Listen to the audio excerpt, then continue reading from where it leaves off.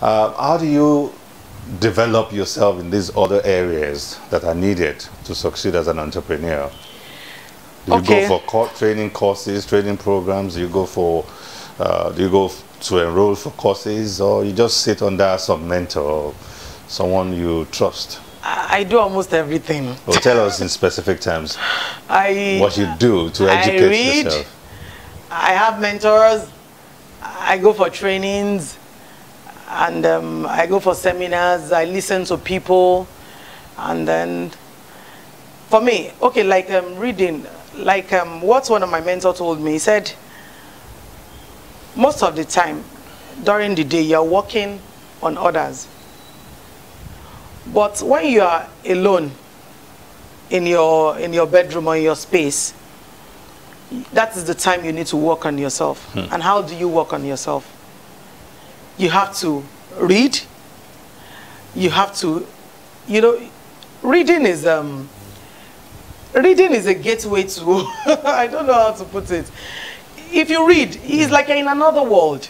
It transports you. It transports you to another world. You begin to see. You don't see things the way every other person sees things, because you you've experienced one world that they have not experienced Mm. like okay my my mentor told me that um, you when you sleep as in okay we should try at least wake up by four o'clock. And then four o'clock what do you do? You read you for um, religious people you pray read Meditate. meditate write your affirmations do your affirmations. By the time you do all of that you are ready for the day and you've equipped yourself and then the day you're just to give out all those things like there's one saying that he usually says um, dr abib olamide he will say that um, that when others are sleeping you are determining their day Oh dear. That's deep. You know, at 4 a.m. I'm awake, I'm determining your day, and you're still snoring on your bed. So that's what um, achievers, that's what they do. So I've done my to-do list for the day. I've um, read, I've um, done meditation, I've done my affirmation, and all of that. And I just come out, and we wake, we go out together. You think we're the same? We're not. Oh We're dear. not, Oh dear. we're not on the same platform. So you you you you during the day you let out Yeah. what you have equipped yourself with, Exactly. and then you come back home to re-equip yourself again. So that Exactly. re-equipping is very necessary for success, for sustainability and success. Yeah, if that's I what get you keeps you correctly. abreast, and then it also helps you. You know what? You know because I, you know when I started this business, Yeah. eh, the knowledge I was using then, I'm not. I'm no longer there. I remember I used to have a, I have a mentor when I started this business, and then he was an architect, and he had this lovely place. His use of space was wonderful. It was, you know, I, I used to really look forward to any time I get to the office, I quickly go to his office and peep, and then I keep listening to him. He, my first office, I remember he did it, you know. But right now, we met at a site one time, and then his job was cancelled, eh, and then they asked me to pick up the job. For me, it was a humbling experience because it could have been me. What happened was that he stayed at that point. You know, there's a there's a there's a And way then you times times passed him. exactly.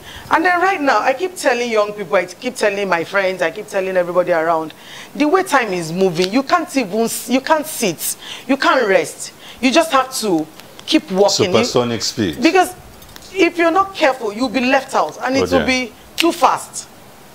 By the so, time you realize. If you have um, an idea right now, you're working on it, and you think, oh, this is a wonderful idea, it's a multi-million idea, I have to do this, I have to do that. If you keep, if you stay there, somebody will come and take it from you and take it further than your mind can even so carry. you've got to keep moving. You've got, you've got to keep going. exactly.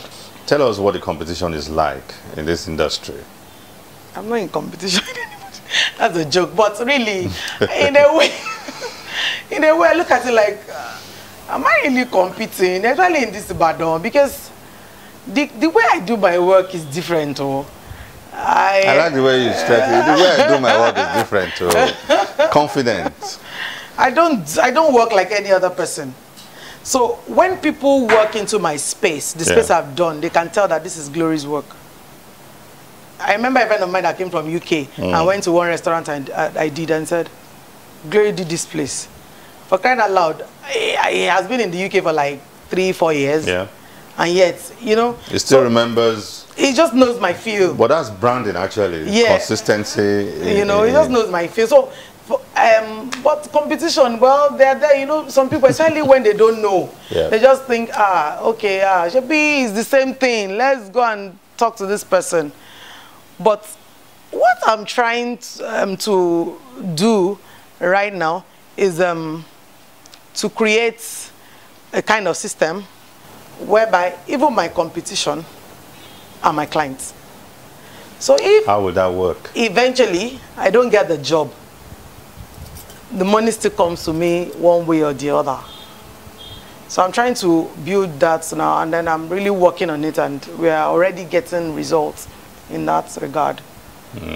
So, so, so you, you- you're not just even talking about skills of doing this job, but also because what you just did there is uh, coaching. You're using NLP strategies. Yeah, because I believe children can be talked to. They understand. If you speak to them, they understand. They want good things around them. They, so even if at the end of the day that child breaks a thing, he will feel bad. He won't just do it out of, oh, I'm happy I did it. He will feel bad that, and you see him trying to explain, oh, I didn't do it intentionally and all of that. Child, children listen if you talk to them in the way they understand. So Uh, what suggestions would you give a startup in terms of the options available to enter into the industry or to enter into the sector? Okay, well, right now, what I advise people, because like you said, my my case is rare. I- would advise that um, you go for training. Okay, like abroad, you have to do like um, four, two years courses, six months, and all that. You you need to go for training. If you cannot afford the training, another easy way that I tell people is that understudy people, learn to work for free. You might just Find someone you can understudy. I'm telling you, if you find somebody you can understand, and don't because you are understudying somebody, you put in little effort. Put in all your efforts. Serve as if you are getting paid for it. No matter what, even if you don't get rewarded, I'm sure that even God will re- reward you for it. So, and I've seen people who have done a lot of stuff like that, who worked for free and then they've been greatly rewarded for it. But right now, everybody wants immediate gratification. You want to make money like, You want to be boss. you know, you want to be boss like. So we need to learn to serve. So if you can't afford training, go for um, work for free with somebody who is into what you want of to do. sorts. Yeah, or you, as in, that's the best way. And so, understanding people is the best way to learn. Not even, not even in class, not even going to training is good if you have all the theory and then when you understudy people, you you get you get much more than the the skill. You get the heart of the job because every job has its own heart. They have so every job has its life, has its heart. So if you don't get that, you just that's why you see some people they just start because there's money in it. They start, and then at the end of the day, they, just do it they- after it's they get time, and then dead they end. get bored. "Ah, I don't want to do this thing because the challenges will always come in business. So when that time when that time comes, what do you do? If you're not passionate about, it, if you do not have the heart of the business, you'll be out of it before you know it.